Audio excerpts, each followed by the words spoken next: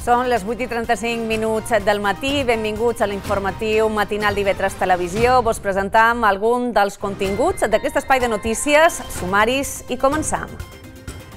Les obres del primer tram del segon cinturó de Palma començaran d'aquí a dos anys i han d'estar acabades l'any 2028. El desdoblament entre Escoi d'en Rabassa i Son Ferriol té l'objectiu de descongestionar els accessos a la ciutat. El nou primer tram costarà 110 milions d'euros i es preveu un túnel de més de 800 metres. El Parlament aprova la futura llei de transparència i control dels càrrecs públics de les Balears que suposa l'eliminació de l'oficina anticorrupció creada pel govern del Pacte d'Esquerres. L'oposició hi planteja un possible recurs d'inconstitucionalitat. Les Nacions Unides aproven per primera vegada en sis mesos la petició d'un alto el foc immediat de Gaza. La proposta, que ha comptat amb l'extensió dels Estats Units, vol aprofitar les dues setmanes que queden del ramadà. La reina Sofia va assistir ahir al concert de Pasqua a benefici de Projecte Homo a la seu de Mallorca. La, la rebia la presidenta del govern Marga Proens, la del Congrés Francina Armengol i també el fundador i president de Projecte Homo Bartomeu Català. A les 10 del matí s'obri la segona fase de banda d'entrades per als abonats del Real Mallorca que vulguin comprar una segona localitat per assistir a la final de la Copa del Rei.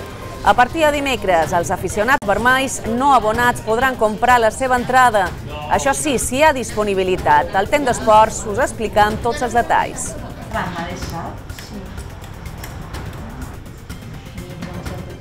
Ha arribat la pluja i el vent a les illes. Marc Aldentà i bon dia. Deixem enrere el sol i les altes temperatures. Així és, de manera transitòria, perquè no ha vengut per quedar-se aquesta situació, però sí que és vera que avui tenim aquest petit parèntesi i ja teníem nígols, la nit passada li ha afegit la pluja, no per tot, en el cas de Menorca pràcticament n'hi ha plogut i en general precipitació per davall dels 5 litres, només a punts del sector d'Inca, Campanet, Sauva, Queimari, entre 10 i 15 litres, allà sí que s'ha notat aquesta pluja, però fora d'aquest redal, precipitacions molt minces, això serà la tònica general eh, durant el dia d'avui. Esperem que torn continuïn aquests ruixats, però ja ho dèiem, en general seran eh, febles i puntuals.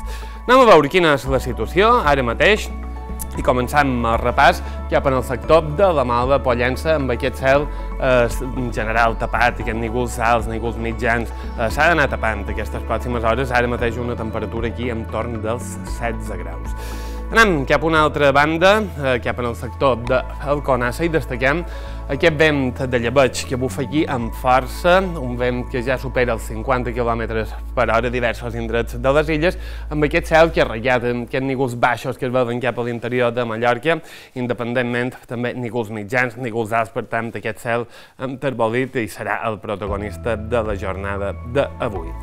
Bé, les enigolades eh, que aquesta nit passada ens afectaven i passaven eh, per damunt les illes, nígols que venen de Llebeig cap a Grellal, i aquesta línia frontal ens anirà arribant aquestes pròximes hores, i darrere ella arriba aquest aire fred.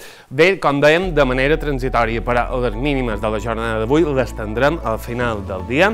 Aquest aire fred que va arribant a la península, en aquest indret portugal, centre i oest d'Espanya, allà sí que notaran eh, aquest ambient d'hivern, en nevades en molt d'indrets, i aquí, però, ens quedam una manca al marge i de precipitacions en tindrem ben poquetes. Eh, veiem les imatges de radar, imatges que mostren aquesta situació de precipitacions que aquesta matinada passada anaven avançant, de, com dèiem, de sud, eh, de sud-oest cap a nord-est, però, com veiem, en general febles, són precipitacions locals i, i aquestes immediates hores continuaran avançant cap a l'arxipèlag. Uh, si heu de sortir, anem a veure quines són les temperatures actuals. Bastant homogènies arreu de les illes, tenim la mateixa situació, en vent, en cel tapat, fa que els termòmetres siguin bastant semblants. En el cas d'Eivissa i Formentera, valors de 15-16 graus, excepte a punts del centre i nord d'aquesta illa, allà l'ambient és més fresquet, també a punts de l'interior de Mallorca, 13-14 graus, però arran demà, eh, valors ara mateix de 15 a 16 graus, igual que cap en el sector de Menorca. Com dèiem, jornada d'avui marcada per aquest ambient de cel en general bastant tapat arreu de les illes, eh, costarà de veure el sol, que hi haurà qualque ullada de sol, però en general eh, cel tapat a tot el territori i precipitacions febles localitzades durant bona part de la jornada, fins entrat al vespre, hi pot haver que ruixats. Insistim que hi haurà de manera localitzada. Eh, S'hi afegirà, així com vagi avançant el dia, el vent ja bufa hores d'ara, com veiem, però ha d'anar augmentant d'intensitat i a partir d'avui cap vespre, a Eivissa i Formentera, podrà superar els 70 km per hora i en aquest aspecte s'activarà l'avís groc per cops superiors en aquest valors i també partir de les 18 hores s'activa l'avís groc arreu de les illes per la mala situació marítima amb onades que poden superar els 3 metres d'altura.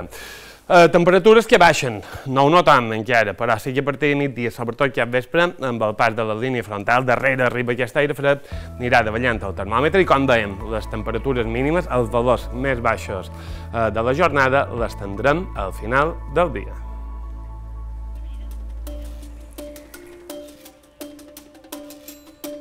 8 i 40 minuts, fem ara una ullada a l'estat del trànsit en les càmeres de la DGT als principals accessos a Palma. Aquestes que veig són imatges de la càmera situada a l'autovia de Llucmajor, a l'altura del polígon de Somalferit de Palma. Són els accessos de la MA19 a la ciutat i també a la via de cintura a la dreta de les imatges. Com podeu veure, retencions per entrar a la carretera de Manacor des de l'autovia de Llucmajor.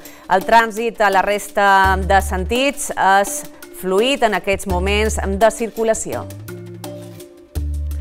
I una vegada ja dins Palma, aquesta és la càmera situada a la via de cintura a l'altura del cementiri de Sant Valentí, a la dreta de les imatges.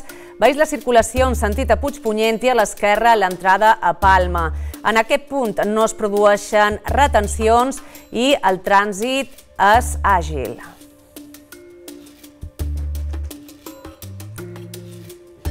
I aquesta és l'autovia d'Inca, el trànsit en aquests moments, just a l'altura amb el pont d'Inca Nou en sentit a Palma, també és fluid i no es produeixen ni problemes ni de retencions ni de col·lapses.